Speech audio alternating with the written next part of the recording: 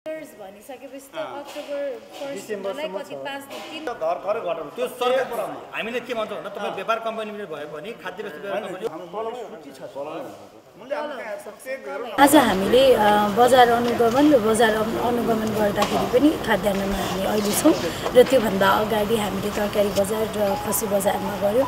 यसै गरी हामी हामी त अहिले एउटा टोलीमा मात्र फलोअप गर्दा हो र सँगसँगै हामीले तिनदेखि चारवटा टोली हरेक दिन बजार अनुगमनलाई चाहिँ टार्गेट बनाएर फिल्डमा जाने भनेर गरिरहेका छौँ र उहाँहरूले पनि हामीले चाहिँ मासु पसलदेखि लिएर डिपार्टमेन्टल स्टोरदेखि लिएर गोदामहरू यो सबै ठाउँमा चाहिँ अनुगमन गर्ने विशेष गरी यो दसैँमा किन भन्ने पनि कुरा हुनसक्छ। र दसैँको समयमा धेरै किनबेच हुने किनमेलको काम पनि धेरै हुने र दसैँको समयमा धेरै जसो अनियमितता हुने पनि देखिएको छ। धोनी जम्बो प्याक साबुन माटो रहित साबुन जसले धुन्छ धेरै गल्छ कम तपाईँहरूले इङ्क चाहिँ राम्रो प्रयोग गर्नु होइन भने तपाईँले डिसेम्बर बजारमा प्राइस हाइक हुने कति कुरा त स्कार्सिटी भनिदिने अनि सबै कुरा स्टोर गरेर राख्ने यस्तो खालको प्रचलन योभन्दा अगाडि पनि नभएको होइन। हामीले तिनवटा अप्रोचमा अगाडि बढेका छौँ। एउटा भनेको प्रमोसनल नै हो। सु कतिजना चाहिँ सुसूचित नै हुनुहुन्न कि उहाँहरूलाई जानकारी छैन दर्ता गर्नुपर्छ थाहा छैन। दर्ता गरेका छौँ भन्नुहुन्छ के भन्दा अघि हामीले पनि देखिहाल्यौँ। दर्ता गरेका छौँ भन्नुहुन्छ तर ओडामा गर्ने भन्ने कुराहरू कतिले थाहा छैन नि त। त्यही भएर जो चाहिँ सचेत हुनुहुन्न उहाँहरूलाई सचेत बनाउने नै हो पहिलो प्राथमिकता भनेको। हामीले फर्स्टमा नै पनिसमेन्ट भन्दा अवेरनेसतर्फ जानुपर्छ भन्ने यद्यपि जो सचेत हुनुहुन्छ सचेत हुँदा हुँदै पनि लापरवाही गरेको खण्डमा भने हामीले कानुनी कारवाही दायरामा आजको अहिले बिहानदेखि हेर्दाखेरि हामीले धेरै जसो अ, हेर्दाखेरि चाहिँ अखाद्य र खाद्य हो कि होइन भन्ने कुरा चाहिँ किन्ने मान्छे पनि अवेर नभएको चाहिँ हामीले देख्यौँ। बेच्ने मात्र मान्छे होइन कि किन्ने मान्छे पनि यो कुरामा त्यति धेरै अवेर नभएको पनि हामीले देखेका छौँ। त्यसको मतलब हामीले यो बारेमा धेरै अवेरनेस फैलाउन जरुरी रहेछ भन्ने कुरा पनि देख्यौँ। र आज सरस्वती हामी जति ठाउँमा गयौँ त्यहाँ चाहिँ अखाद्य नै बेचिरहेको देखिनौँ जस्तो यहाँ पनि प्याकेजिङको प्रब्लमहरूको कुराहरू आयो। कति कुरा चाहिँ अखाद्य कुरा पनि खाद्यसँग मिसाइएको पनि कुरा आयो। तर त्यो कुराहरू चाहिँ सुधार्न सक्ने पक्षहरूलाई हामीले पहिलो प्राथमिकता नै दिएका छौँ। र डेटको कुराहरू हेरिराख्दाखेरि पनि अघि पनि उठेको थियो।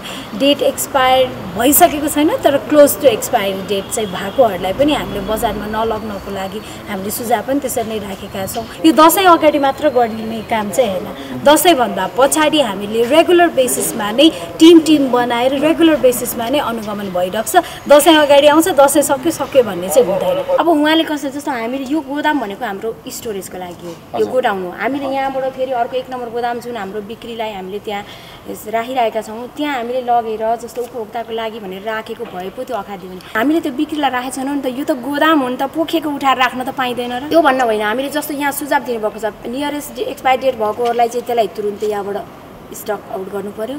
त्यस पछाडि प्याकेजिङमा जुन त्यो इन्कको कुरा गर्नुभएको छ त्यो क्लियरली देखेको छैन। त्यसलाई हामीले? सुधार्छौँ। बाहिरबाट खाद्यान्नहरू आउने बेलामा प्याकेजिङ गरिसके त्यो स्ट्या स्ट्याम्प लाउने बेलामा तुरुन्तै जस्तो वर्किङ म्यान पावरहरूले त्यसरी खाँदाखेरि कहिले काहीँ त्यो मेटिन पनि सक्छ। होइन? तर त्यसलाई हामी त्यस्तो हुन दिँदैनौँ हामी सुधार्छौँ। अहिले यसपालि हाम्रो अठार सय खसी बोका पाँच सय चाहिँ च्याङ्ग्रा ल्याउने हाम्रो लक्ष्य छ। अब कतिपय च्याङ्ग्राहरू हाम्रो गोदाममा पनि हाम्रो उसमा पनि प्राप्त भइसकेको छ। अझै आउने क्रममा छ बाटोमै छ होइन?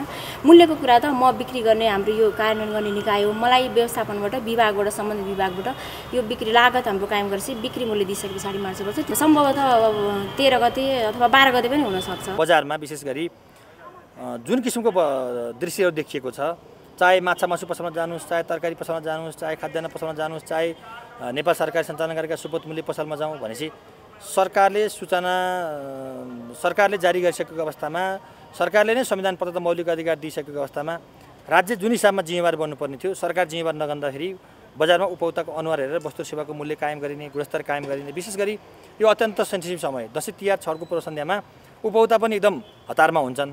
क्रय गर्ने मान्छेहरूलाई आवश्यकता आवश्यकताभन्दा बढी मात्रामा क्रय गर्नुपर्ने। यही बेलामा चाहिँ देशका विभिन्न जिल्लाहरू विशेष गरी उपत्यकाबाट उपत्यकाभन्दा बाहिर जाने यात्रुहरूले आफ्नो घर परिवार जाँदाखेरि विभिन्न प्रकारका प्याकेजिङ र नन प्याकेजिङ खानेकुराहरू लिएर जानुपर्ने जुन एउटा हाम्रो संस्कार छ विगतदेखि बढै। एउटा अधिकार कर्मीको नाताले नेपाल सरकारलाई आज होइन आजभन्दा दसौँ वर्ष अगाडिदेखिबाट बजार अनुगमन नियमन कडाइ गर्दै उपभोक्तालाई गुणस्तरीय वस्तु सेवा प्रा प्राप्त गर्ने अधिकारलाई चाहिँ सुरक्षा गर्नुको निम्ति राज्य जुन चाहिँ जिम्मेवार बन्नु जिम्मेवार बन्नुपर्ने थियो बनेको पाएन। आज हामी खाद्य व्यवस्था व्यापार कम्पनी लिमिटेड र टुक्क तरकारी बजारमा जुन गइयो खसी बजारमा तरकारी हेर्दै गर्दाखेरि के देखियो भन्दाखेरि अधिकांश पसलहरू दर्ता भएको अवस्था छैन। लेभल नभएका विशेष गरी खाद्य ऐन दुई हजार तेइस र उपभोक्ता संरक्षण ऐन दुई हजार पचहत्तर स्पष्ट भनेको छ। उत्पादन मिति उपभोगी मिति मूल्य तौल ब्याज नम्बर उत्पादक वा आयातकर्ताको स्पष्ट ठेगाना बिना कुनै पनि प्रकारका खाद्य वस्तुहरूको बेचबिखन गर्न पाइँदैन भनेर स्पष्ट कानुन व्यवस्था हुँदा हुँदै पनि सरकारकै चाहिँ कम्पनीहरूमा सरकारद्वारा लगानी भएका सरकारकै नियन्त्रण रहेका संस्थानहरूमा त्यस्ता किसिमको कुरा पाइँदैन भन्ने बित्तिकै हाम्रो बजार कहाँ छ भनेको त्यहाँ प्रमाणित गरेको छ। यस्तो संस्थानहरू जुन खाद्य व्यवस्था व्यवहार कम्पनी लिमिटेड दुध विकास संस्थान लगायतका निकायहरू चाहिँ अझ बढी सबभन्दा बढी सेन्सिटिभ हुनुपर्छ नागरिकपछि जिम्मेवार बन्नुपर्छ र देखिएका भरमा हामीले अखाद्य भन्न सक्दैनौँ। त्यही भएर यो जुन अनुगमन पनि के छ भन्दाखेरि हामीले बारम्बार भनेका छौँ यो अनुगमन चाहिँ स्थायी संयन्त्र मार्फत सबैभन्दा बढी व्यवस्थित नियमित पनि अनुगमन हुनु पर्यो। अहिले अनुगमन नियमित हुन सकेको अवस्था छैन। आज हामी लगभग घटस्थापनाको भोलिपल्ट काठमाडौँ महानगरपालिकाले नेतृत्व गरेको अनुगमनमा म पनि टोली सदस्यको रूपमा जुन आएँ आउँदै गर्दाखेरि यो के हो भनेर भने नेपालको संविधानले नै स्थानीय बजार व्यवस्थापन अनुगमन जिम्मेवार स्थानीय तल दिएको छ नि त। जिम्मेवार बन्नु पर्यो। आज हामीलाई कुनै शङ्का छ भने हामी नमुना पनि लिनु पऱ्यो नि त। हामीले यहाँ नमुना लिन सकेनौँ नमुना लिएका छैनौँ।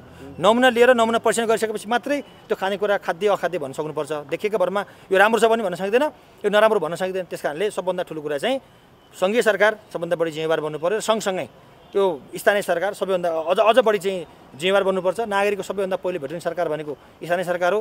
तर विडम्बना यो चाहिँ एउटा विडम्बना साथ भन्नुपर्छ। स्थानीय सरकार पनि नागरिक हितप्रति स्वच्छ बजारप्रति प्रतिस्पर्धी बजारप्रति अखाद्य वस्तुहरूको उत्पादन बेचबिखन भन्ने नियन्त्रण उत्पादन नियन्त्रणप्रति चाहिँ जिम्मेवार भएको पाएको छैन।